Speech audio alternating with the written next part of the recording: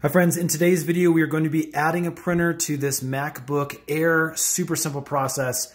Let's do this right now.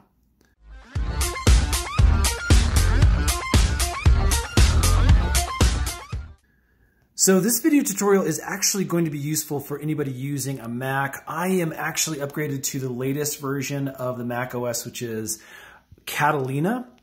And I'm going to be using this Epson printer. You can see here's the model number. This is actually a Wi-Fi printer, so there's actually some easier ways to do this via Wi-Fi. I'm gonna show you the absolutely easiest way, and that is to use the USB cable that's connected from the printer. You can see the gray cable going in over there. And now taking this end and just plugging it straight into our Mac. And what I'm gonna do is without any other software, I'm just gonna stick this directly in here, making sure the printer is on. So let's go ahead and hit that on button real quick. And then we're gonna come over here and we're actually gonna put the USB directly into the slot. On my MacBook Air, and I've actually opened up the system preferences up here. And you can find this either in your apps folder or down in your dock. It's that little gear icon. And once you open that up, you're gonna have a few options, including this printers and scanners. I'm actually gonna click on this. Now watch what happens when I plug in that Epson printer.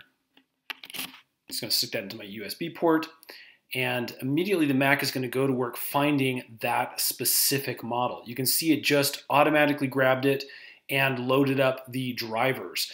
And now you can see that it's going to be available here. Most of the modern printers will have a database with Mac that it can locate these specific drivers and set it up automatically for you. So it's again, it's a really, really neat option.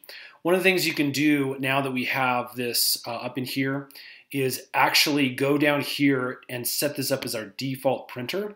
Again, this is our only one, so it's nice and easy. And that way when you're printing, your Mac is automatically gonna know to look for this specific printer to print from. I hope that's helped, friends. If it has, would you guys hit that thumbs up button for me down in the description box? And if you could subscribe, we got a bunch more Mac tutorial tricks, tips, tutorial videos that are coming up real soon.